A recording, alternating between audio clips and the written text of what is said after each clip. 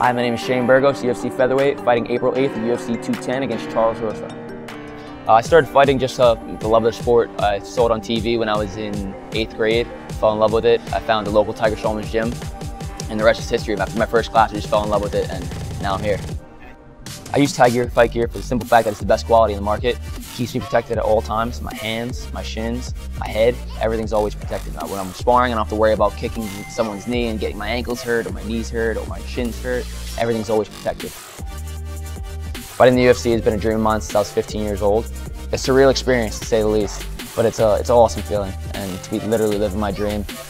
Words can't express how much it means to me. It's an awesome feeling. I encourage you to find out what